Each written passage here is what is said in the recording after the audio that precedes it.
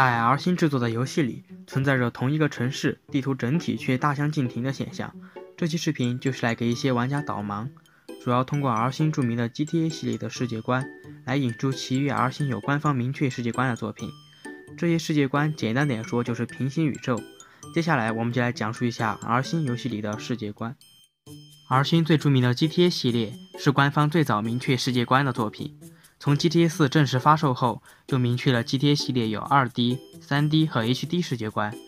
这三个世界观中，R 星又让公司制作的其他部分游戏加入到了 3D 和 HD 的世界观里。至于为什么会有世界观这个定论，还是 R 星考虑了作品之间的连贯。例如 GTA 3D 世界观的主角们都各自在相应的城市里发展壮大，如果再让新作的主角去打压他们，似乎并不是很好的决定。这也可以从 R 星的自由城故事和自由都市传奇都作为前作的前传来看出。之后，G T 系列迎来了画质的革新，为了让玩家有全新的体验，地图也进行了相应的扩展。如果再按照之前 3D 世界观来发展，相对就困难了许多。于是便诞生了 HD 世界观，方便 R 星之后新故事的发展。接下来，我们就来详细了解 R 星游戏世界观的定论。2D 世界观对于大部分玩家来说是最陌生的。毕竟，很多 R 星粉丝的入坑作都是从 3D 世界观开始，2D 世界观则是 R 星北方工作室还叫做 DMA Design 时期所制作的 GTA 一以及两部资料片和 GTA 二所采用的世界观。在这个世界观里，出现了自由城、罪城、圣安地列斯州的雏形，还有英国的伦敦和曼彻斯特，以及一个虚构的 Anywhere City。游戏的设定也和之后的作品不同，2D 世界观作品的剧情都没有太大的关联。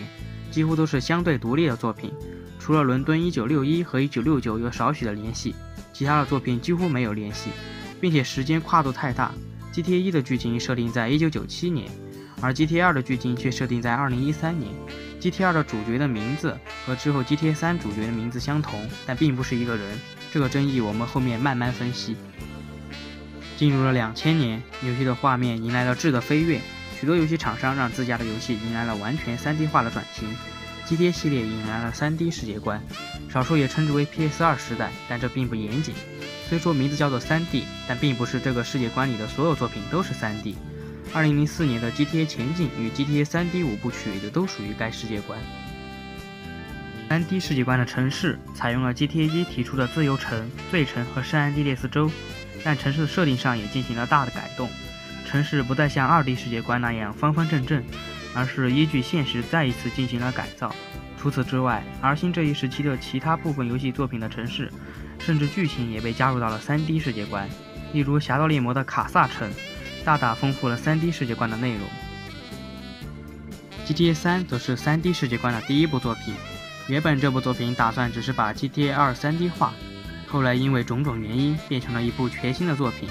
但在部分的设定上却非常模糊，毕竟世界观的设定直到2008年 R 星官方才做出说明。本作主角的名字就是一个非常模糊的存在，在 GTA 3刚发售那会儿他是没有名字的。到2004年的圣安地列斯里，一个叫做克劳德·斯宾德的人物与 CJ 赛了车，但 R 星并没有说明这个人就是 GTA 3的主角。直到 GTA 3十周年纪念版的发售，R 星开放了一个你问我答的活动。才正式明确了三代主角的名字就是克劳德·斯宾德。明确了主角的名字，那么问题就来了，他会不会就是 GTA 2的主角？克劳德是否跨越了世界观？答案是否定的，他们不是一个人。虽说穿着打扮相似，名字也一样，但年龄就是最大的证据。GTA 2当年有一个官方电影，主角的年龄是十七岁，结合剧情所在的2013年，反推在2001年时。GTA 二的主角则是五岁，这两个问题就解决了。GTA 二和 GTA 三的主角只是同名同姓罢了，并不是一个人。在 3D 世界观里，R 星加强了作品之间的联系。游戏内时间线主要设定在二十世纪八十年代到九十年代，时间线在二十一世纪的只有 GTA 三和 GTA 前进两部作品。3D 世界观的每一部作品的故事性相对较强。同世界观人物跨越作品的现象也有很多，例如 GTA 三克劳德与圣安地列斯主角 CJ 见过面，赛过车，之后他也为自由城故事的主角托尼希普莱尼做过事等等。除此之外，还有很多传奇的人物跨越了 3D 世界观的四部作品，菲尔卡西迪就是一个很好的例子。1984年，他和维克多成为了朋友。1982年，他和汤米一行人策划抢劫了银行。1998年，与托尼街头交易了军火。2001年，又让克劳德保护了自己的基地。这类配角出现在同时期作品现象还有很多。正因为他们同属一个世界观，所以可以在同一世界观里随意穿梭。三 D 世界观的作品，剧情上的关联与补充也有不少。在三 D 世界观早期的作品里，由于技术不够完善，少了很多东西。在 GTA 三里没有摸头的问题，在之后发布的前传类作品《自由城故事》里就解释了原因。剧情上，三 D 世界观的六部作品着重描写了帮派斗争和黑手党竞争的主题。其中，自由城三大家族的发展在作品里都体现了出来，并且不断完善这些家族或者帮派的背景，丰富了游戏的剧情。3D 世界观里面最让很多人感到奇怪的就是 GTA 前进，为什么一款和 GTA 一、二类似俯视视角的 2D 游戏属于这个世界观？正如前面说过，3D 世界观不代表所有的游戏都是 3D 化，而是剧情上和地图上的联系。城市的设定大体与 GTA 三没有什么区别。只是为了应对 GBA 机能的问题而修改了部分的道路。前进的剧情是在两千年的自由城时间线，紧接了自由城故事和 GTA 三。可以看到日本帮已经由加奈明日香领导，弗雷利家族也成为了一个兄弟会的现象。这些方面都可以证明出它也是属于 3D 世界观的。R 星在这期间制作出的《侠盗猎魔》也可以进入 GTA 3D 世界观的设定里。该作的剧情是发生在自由城北边的卡萨城郊。主要让玩家操控主角进行暗杀电影的拍摄，导演为了让效果更加真实，便让主角真杀。这个导演就是幕后的真凶。也许大家会感到奇怪，这个导演应该没有什么特别的地方。错，其实他就是曾经在《罪恶都市》中出现过那个拍大片的导演史蒂夫·斯塔克怀特。他曾经在《罪恶都市》主角汤米的帮助下出了名，之后他去其他城市闯荡，却被同行排挤压迫，事业进入了低谷。他把自己的名字改成了莱昂内尔·斯塔克怀特，改拍恐怖暴力的电影，于是便有了在《侠盗猎魔》里发生在卡萨城的故事。而恶霸鲁尼的世界观，严格意义上讲就不属于 GTA 的世界观，目前没有新作的情况下，属于独立的世界观。城镇的设定是在美国东北部新英格兰的一个叫做布沃斯的小镇里。虽说它没有在 GTA 的世界观里，但在 GTA 的世界里还是有许多暗示的彩蛋。GTA 四的电视就曾经播出过布沃斯学院的相关片段。二零零八年，GTA 四发售后，R 星正式明确了 GTA 的世界观，GTA 系列迎来了 HD 世界观，自由城再次进入到了大家的视野里。HD 世界观的自由城又进行了翻天覆地的变化。而星在制作这部划时代的大作时，即使经历了圣安地亚斯热咖啡事件的打击，但他们依旧再次前往纽约考察。正如 UP 主乔在燃烧所说。从纽约城的排水系统到人口调查，细致到民族服饰；从研究纽约出租车，甚至研究到了被烧焦的废车，到人们兜里硬币碰撞的声音，上千张照片定格了现代纽约的每一个画面。可见，R 星为了让自由城更加贴近现实的纽约，下了不少的功夫。HD 世界观的自由城更加还原了现实，纽约的自由女神像也终于在自由城得到了还原，叫做幸福女神像。此外，GTA 4除了有完整的自由城，在城市的西面还有一个叫做阿尔德尼的州，这个地方只在四和两个资料片出现之后，同属一个世界观的血战唐人街只有完整的自由城，而并没有这个州。GTA 系列警察部门的实力也有了很大的变化，他们的 AI 更加丰富和智能，同时 HD 世界观里手机也起了很多重要作用，不再像 3D 世界观那样单纯来打电话。游戏内还加入了属于游戏内的互联网和电视台。接下来大家可能又有疑惑了。之前 3D 世界观出现过的 Liberty Tree 和唐纳德罗伍以及 Love f a c e 的乐队为什么会在 HD 世界观再次出现？首先，R 星就明确了媒体和艺术家可以跨越世界观的设定。自由树作为自由城最大的媒体机构，很多大事都在上面报道过。比如说，曾经就报了个 GTA 3主角抢劫银行被捕的事情。唐纳德罗伍在之后收购了该媒体，所以可以随着这个媒体一起跨越世界观。Love Fest 乐队就更不用多说了。他们最早是出现在《罪恶都市》里，汤米就曾经为他们办过事情。这个乐队作为 R 星最早设计的艺术家们，自然他们也是可以跨越世界观的人物。此外，许多 R 星虚构的品牌和商标也可以跨越世界观。既然上述人物可以跨世界观，那么为什么 3D 世界观的主角们就不能再跨越世界观了呢？因为 R 星起初分化世界观就是为了避免造成一个新主角来打压前作主角的现象。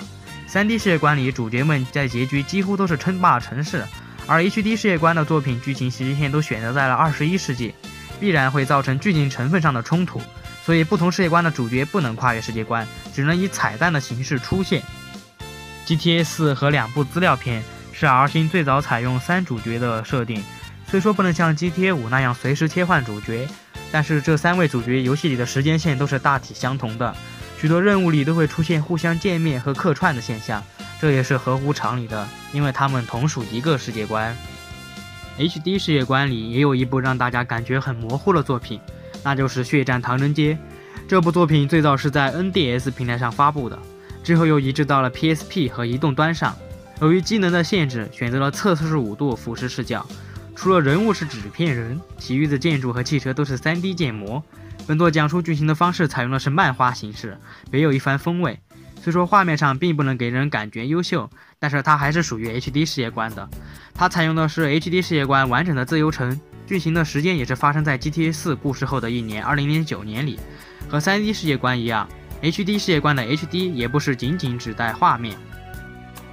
之后的 GTA 5也采用了三主角的设定。只不过和 GTA 4以及两个资料片不同，GTA 5就在一部作品里就可以随时切换主角，当然任务除外哈，任务里除外。本作的城市选择了圣安地列斯州的洛圣都，而新制作团队同样前往了洛杉矶，给城市拍了许多照片，又结合了前作圣安地列斯里的洛圣都进行了大的改造。除此之外，郊区沙漠的规模也进一步扩大，让玩家不仅仅能感受到城市的风格，还可以体验到乡下的快乐。在 GTA 五里，一个熟悉的面孔在任务里出现了，那就是 GTA 资料片《失落与诅咒》的主角强尼。可惜他刚出场没几分钟就被老崔踩死了，他成为了第二个官方明确死亡了的主角。这也再次印证了同一世界观的人物是可以跨越作品的。之后 GTA Online 的推出，让玩家们可以在线上游玩。而新又设计了彩蛋，就是让克劳德或者尼克成为自己的父亲。这也只能算彩蛋而已，并不代表不同世界观的主角就能互相跨越。五代主角之一的麦克在过去抢过卡萨城的一家银行，这个城市是不是感到耳熟？当然，这在前面我们就提到过，它是《侠盗猎魔》剧情所发生的城市。这件事似乎在暗示卡萨城可能和自由城、洛成都一样，都会有 HD 世界观的版本。到目前为止，HD 世界观证明存在或出现了的城市有自由城。阿尔德尼、洛圣都、北洋克顿、卡萨城这些地方。接下来，我们来对比一下 3D 和 HD 世界观。目前两个世界观都出现了的城市只有自由城和洛圣都两座城市。在 HD 世界观里，城市的规模扩大，但是部分地名和著名地标在 3D 世界观里也是存在的。自由城和洛圣都机场的名字在不同世界观里也是一样的。GTA 4里还有一个彩蛋。那就是可以在公园找到那个 3D 世界观一些著名地标的缩小版模型等等。剧情风格上，HD 世界观与 3D 世界观不同。前面说过，3D 世界观主要描写的是上世纪黑帮互相争夺的故事，而在 HD 世界观里，对于帮派的刻画相对少了很多，主要是对社会现实的描写。这有一个客观原因，那就是剧情的时间线。HD 世界观都是多半都是在发生在21世纪的。这时期的帮派本来就相对都很多都转了型，走向了合法的生意，不再像二十世纪那样动不动就火拼之类的。虽说刻画的少了，但是不代表就没有这方面的描写。HD 世界观的自由城也有五大家族和一些零碎的帮派，这些和 3D 世界观不同，因为他们都是原型呢，都是基于了现实，而不是完全虚构或者是参考电影的这些影视作品之类的。在 GTA 五里，有两个熟悉的帮派出现在了任务里。他们分别身着绿色和紫色的打扮，没错，就是血盟和巴勒帮。这两个帮派在之前的 3D 世界观里就出现过类似的帮派，注意哈，是类似的帮派。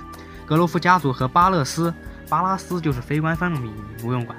但本质上，他们与五代的帮派没有任何的联系，只不过都是基于洛杉矶现实里的瘸帮和血帮罢了。所以一些玩家说格罗夫家族在五代里没落了，是不严谨的，因为在 HD 世界观里，他们之间可能甚至都没有崛起过。说见到 CJ 就更加荒唐了。还是那句话，不同世界观的主角不能跨世界观。遇见和 CJ 类似着装的 NPC 就并不能代表他就是 C。现在 GTA 世界观的分化我们就讲解结束了。你以为本期视频就结束了？怎么可能？这期视频的题目可是 R 星游戏的世界观啊！现在 R 星还有一个明确的世界观的系列《荒野大镖客》啊，哪有这么快就结束了？《荒野大镖客》其实也是分了两个世界观的，就是左轮世界观与救赎世界观。其中左轮世界观只有一部作品，而救赎有两部作品。和 GTA 世界观的标准一样，不同世界观的主角也是不能跨越世界观的。首先还是要来说一下《荒野大镖客：左轮》这部作品，因为这是让大家感觉最模糊的一作，甚至有人把它与《救赎一》来搞混。其实这部作品并不是完全由 R 星制作，这倒是卡普空让天使工作室代理制作的游戏。但之后啊，卡普空取消了该计划，Take Two 收购了天使工作室，把它分化到了 R 星旗下，成为了 R 星圣迭戈工作室。R 星也花费了很多钱买下了这个游戏的版权，他们选择继续制作。于是就有了《荒野大镖客：左轮》。虽说 R 星对游戏进行了大换血，但依旧可以看出许多卡普空的遗留元素。直到2009年，R 星才正式公布了《荒野大镖客》新一部作品《荒野大镖客：救赎》。鉴于 R 星采用了自家的雷霆引擎，画面和物理效果上有了质的飞跃，《荒野大镖客》相当于也迎来了 HD 时代。这部作品完全是由 R 星来开发，制作出了他们想制作的故事内容。当时这部作品的成本也是大大提高。我们之前说过，在那个引擎科普里说过，它这个游戏的制作成本高达一个亿美元，并且反响也很不错。于是之后也有了续作的计划。二零一八年十月，《荒野大镖客：救赎二》登陆了 PS 四和 Xbox One 平台，成为了《救赎一》的正统续作，故事上有一定的关联。说完了《荒野大镖客》和 GTA 的世界观，我们回到现实，现实的世界和 R 星的世界又有什么不同呢？而新的世界里，大部分都是基于了现实，但是有一些不同的地方，比如之前我们说过一些著名的地标，他们在现实里肯定也有，只不过 R 星的世界里他们的名字不同之类的。之外，还有一些设定和现实不同，比如说 R 星的世界里，美国是以自由城为首都，而自由城就是以纽约为原型，但是现实里，美国的首都就是华盛顿，这些问题等等之类的。我们来总结一下。而新的世界观里主要有 GTA 的 2D、3D 和 HD 世界观，其中《侠盗猎魔》系列也附属在了 GTA 3D 世界观里面，而恶霸鲁尼则是单独的世界观。荒野大镖客系列分成了左轮和救赎的世界观。除了这些视频里所讲的，R 星其余的作品的世界观都是没有完全明确的，不同世界观的主角也不能互相跨越，不同作品也有 R 星其他作品的彩蛋之类的，这些都是合乎常理的。这些似乎也是在表示，在在细分的世界观之上，R 星的世界还是丰富多样的。在 R 星游戏世界观慢慢发展的时间里，有多少玩家在 R 星的作品里感受到了快乐？即使世界观细分了很多，每个世界观的故事依旧是那么的精彩。现在 GTA 3D 世界观的故事已经完全结束了，HD 世界观还在慢慢扩充，其余 R 星的经典作品也可能迎来续作。不知道下一部作品是所有人期待的《给他 A 六》，还是恶霸鲁尼的新作品呢？我们拭目以待吧。这一期关于 R 星科世界观科普的做视频就结束了，这应该是我做科普来最长的一期视频吧。当然，大工程量的视频还是难免有错误啊，希望错误的地方还是大家可以指出。现在寒假可能进入尾声了，之后的更新频率可能没有现在这么高，但是我尽量还是保持月更啊。虽说住校。但我每周还是要回来的啊！好了，谢谢大家的观看，感谢。